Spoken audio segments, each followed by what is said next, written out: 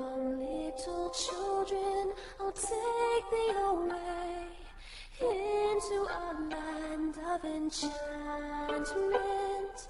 Come, little children, the time's come to play here in my garden of shadows.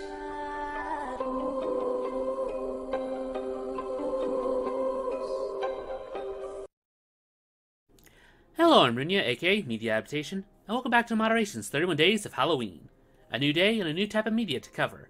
And today we're going to go back to the world of cartoons, a topic that we covered at length before. Yeah, we've made several videos about them before, but sadly none of them have been re-uploaded yet because somebody keeps getting sick! Ah, thanks, Pink, for pointing that out. You're always so helpful.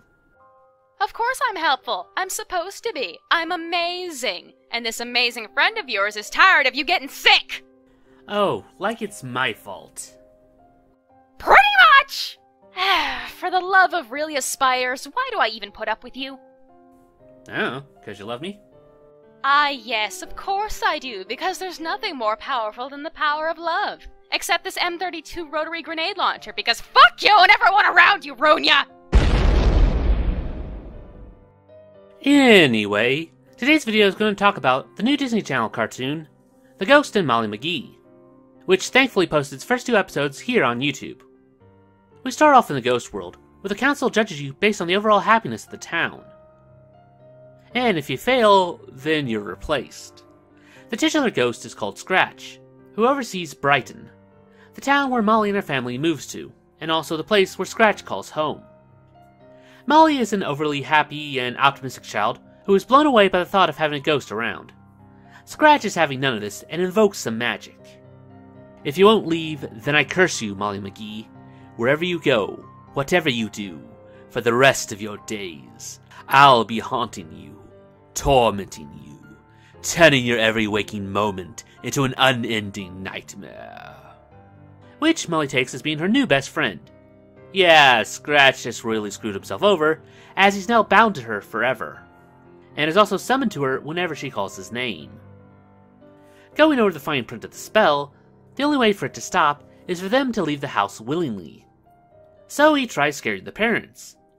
Which works at first, but Molly shows him that he's all bark and no bite. The family is also part Taiwanese, and talking to her grandma, they treat ghosts differently, which is always a nice touch in these stories. They treat ghosts with respect, giving them a vessel to dwell in, which takes the form of a creepy dollhouse that she has, and is given offerings of food. Scratch is a ghost that, while effective at his job, is not really liked by his peers. So, this arrangement is actually the first time he's seen any form of respect. But that also means that the town's happiness raises ever so slightly, so he'll have to find a way to offset that in the future. The second episode is slightly less good. It's the first day at school, and she gets on the wrong side of a popular girl by simply mispronouncing her name. I know this is a play for laughs, but we got something like Owl House last year, a poorly written bully really stands out. So, in short, Scratch accidentally scares her, causing her to pass out. Molly tries to get her to hell, but things go sideways fast.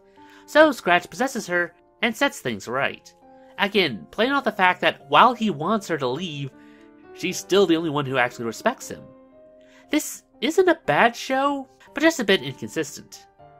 Again, like I said before, the show is mostly played for laughs. But there are some general moments of true sadness.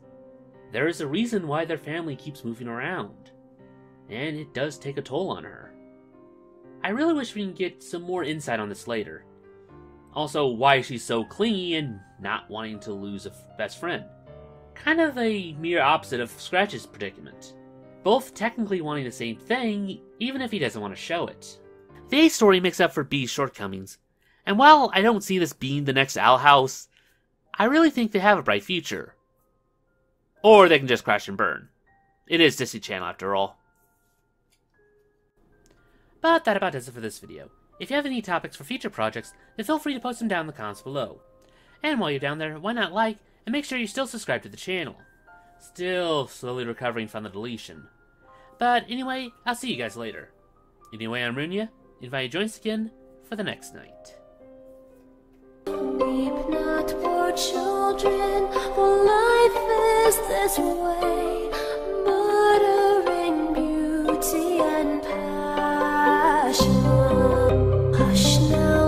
是我